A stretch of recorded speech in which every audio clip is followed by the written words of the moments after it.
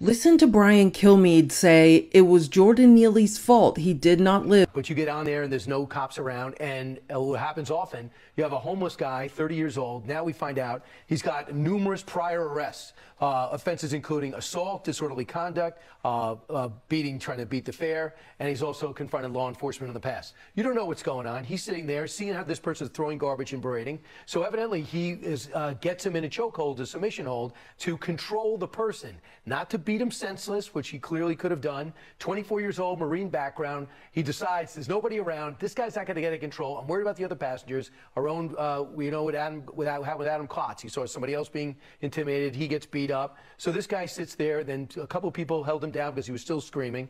By the time they get off on Bleecker Street, uh, he's unconscious, and sadly he passes away. That wasn't anybody's intention. But when you're in that subway car, it's almost like you're in the octagon. I mean, who's coming for you? You go in between stops. How many? how many more victims do we need in in all these cities, especially in the subways in New York, uh, before something like this happens? When you let homeless run crazy, when you never arrest anyone, sooner or later someone's going to take things into their own hands. But clearly that wasn't the intention. That is not the intention of getting in a hold like that. That is to control the person. Well.